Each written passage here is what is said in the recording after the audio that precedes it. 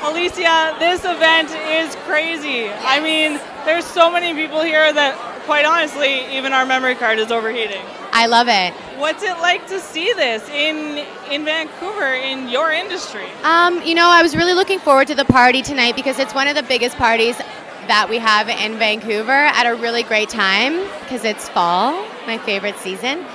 And it's just really lovely. It's nice growing up in Vancouver and working in this industry in my community and looking around and just seeing a lot of familiar faces or competition um, that I still love. Learning their moves. Yes.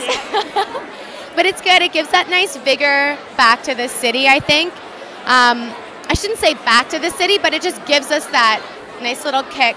We did need a little bit of a pickup. There was there was a bit of a time where Vancouver was actually doubting itself and the, the films and things that were coming here. But look at us this year.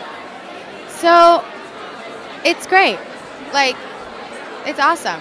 I mean, we honestly can't complain. We've got things like Warcraft, we've got iZombie, Once Upon a Time. It's all happening.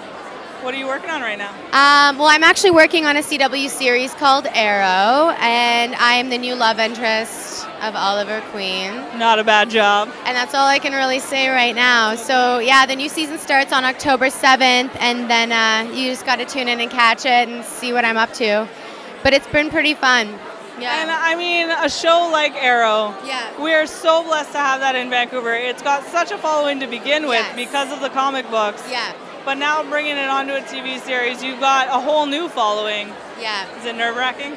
You know what it is for me a little bit, just because I'm given information very last minute because of the uh, the nature of the work is so sensitive, and they don't want to have any leaks, and I respect that. So for me, it's kind of like exciting and fun on that way, and it takes the edge off, so I don't really have to conceal any truths.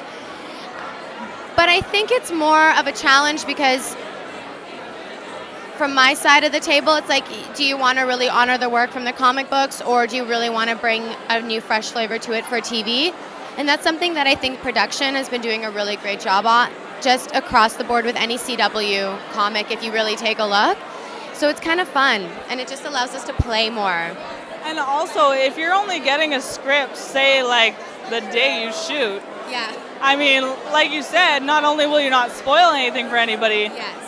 But how do you build your character? Well, I think that's where your technique and skill set and training really come in, and just really trusting your instincts. And then, of course, doing all that stuff at the end of the table where you have to do your research, do your recon, get your intel, like source it out, do that stuff as an actor that you don't really get trained in necessarily, but you learn as you go.